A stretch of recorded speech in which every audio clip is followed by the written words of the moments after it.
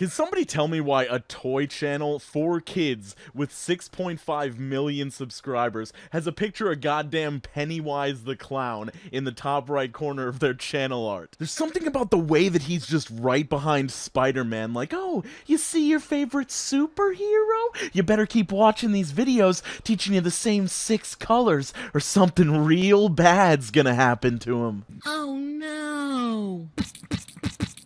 So something is not quite right with Toc Toc Toys. I can't quite put my finger on it yet, but from the usage of feet in the videos, the strange sound effects they use, the cover photo featuring Pennywise the Clown, and the fact that they are the 33rd highest ranked channel currently on YouTube internationally on Social Blade. And Social Blade rank pretty much just means how relevant you are based on how many views and subscribers you're currently getting. So they're 33rd, just to put that in perspective, PewDiePie is 36 ranks behind them. He's ranked 69 right now. So obviously, in order for you to get a good idea of what's going on with this channel and make up your own opinion about it, we have to look at some of the videos. But don't worry, I won't leave you alone with the strange babysitter that is Toc Toc Toys. I'm gonna be commentating throughout, so let's check out some of the content.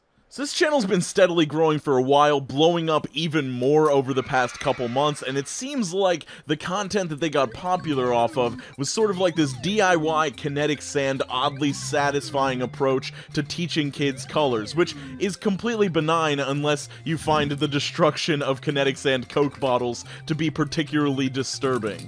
Now, what makes this channel kind of weird, in my opinion, is three things. One, the involvement of feet in the videos. I mean, feet personally kind of gross me out, so that might be my bias showing through here. Kids might find feet funny, I just don't like the vibe of this video whatsoever. Just the foot constantly going into the paint and then scrunching up when it pulls out, and the kids cheering for the foot going into the mm. paint is just weird. Now, the whole feet thing could really just boil down to kids find find feet funny or something like that. They get clicks, they get views, we make money, so we're gonna keep making videos with feet. The only situation where I could really find it strange is if this guy had some weird reverse foot fetish where he liked kids looking at his feet. I'm not saying that's the case whatsoever. Maybe I'm just hypersensitive to getting creeped out by feet after Dan Schneider got exposed. Now, the next thing that I wanted to talk about is the sound effects. Most of them are completely normal, just like everything else with this channel. They're just kids cheering, kids saying mm-mm, or kids saying, oh no, stuff like that. But there are a couple that kind of make me unsettled. Let me know what you think. I'll put a couple of them in a little compilation here.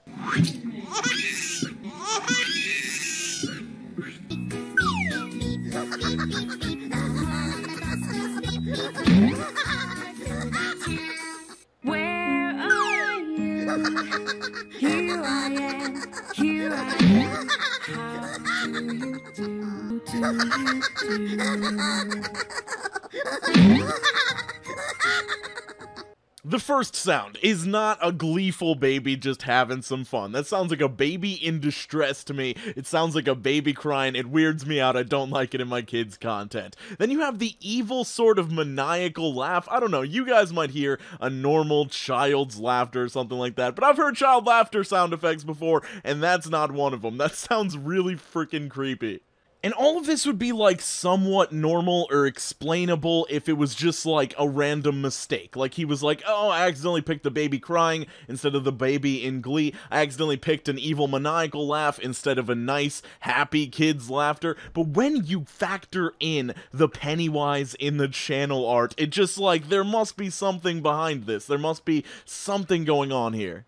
And you might be like, Cuestar, why are you lingering on this clown so much? It's creeping me out. I did that intentionally so that you guys could really get a sense of how creepy this Pennywise is. I don't think it's a mistake like this guy was like, oh, I need a clown mask for the channel art. Uh, let me just, uh, I grab this one. It is clearly a creepy mask. It's like worn away in certain areas. It's got the yellow eyes and like the creepy marks. There's no way that he mistook that for like a normal happy clown mask. So I guess this is the part of the video video where I'm supposed to give my theory on what's going on here because there's really nothing concrete I can discern from the 40 or 50 videos I watched from this channel. It's not really the horror, the creepiness isn't often enough to say that he's really trying to make an impact on children or something like that, creep them out. I mean, the foot thing is pretty often, but I think that's also completely up in the air whether it's weird or if it's just something that kids like and find funny. So with nothing really concrete to work with, I guess my theory would be that this is just some dad. There's a video of him and his wife and his child on their second channel. I'm not going to include that because I don't want to like expose these people since I really don't know what's going on with the channel. But my theory is that it's just a dad that's maybe messing around in these videos. Maybe he got tired of the standard format, decided to throw in a baby crying, throw in an evil laugh, throw in Pennywise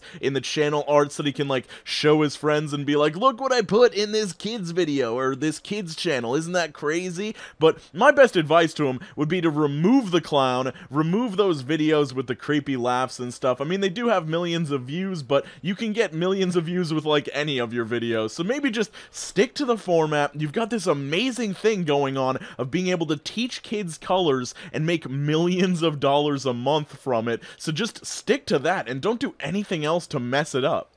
But I really want to know what you guys think of this channel because I don't want to feel like a crazy person for even looking into it. Do you think that there's something weird going on with the feet, or do you think this is a normal thing that kids like? Do you think that the sound effects are just a mistake or a misunderstood sound effect and that it wasn't intentional, that it's a baby crying and an evil laugh? And what do you think of Pennywise in the channel art? Because honestly, I would not have made this video if I didn't see Pennywise. That's what set off my weird uh, sensors or whatever to something going on here.